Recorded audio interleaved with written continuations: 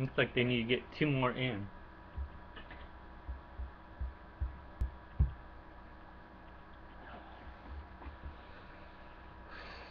Three back now. Here's Popham's Pride with Have a Run. Waiting for Stokes Bridge. They're all in line.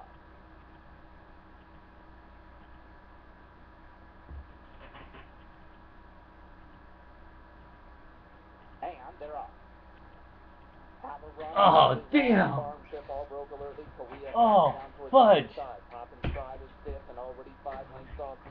As Mr. Come on, Emmanuel Cruz. Get the horse. Get her going. Come on, baby.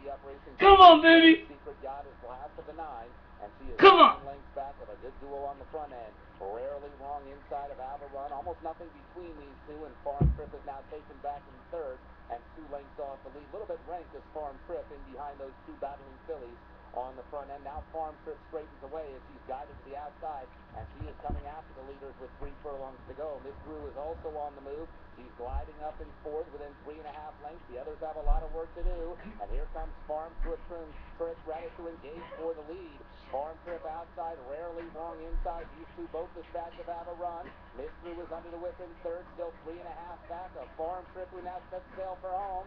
Farm Trip the leader as they come to the final furlong. Miss Drew is gaining ground though on the outside and rarely wrong is hanging tough along the rail. Farm Trip just a tenuous lead right now. Miss Drew has it Oh, down on fuck. the rail is rarely wrong. It's Farm Trip going well now. Farm Trip and Luis Serrato take the opener. Ended up tight for place and show either rarely wrong. Oh.